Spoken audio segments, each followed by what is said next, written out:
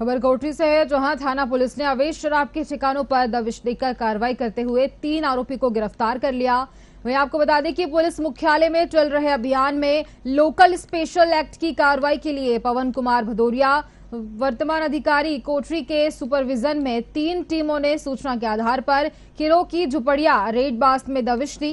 वही बता दें कि दबिश के दौरान 1000 लीटर कच्ची शराब, वॉश को नष्ट किया गया और 30 लीटर अवैध शराब जब्त कर तीन आरोपियों को गिरफ़्तार कर मामला दर्ज किया गया।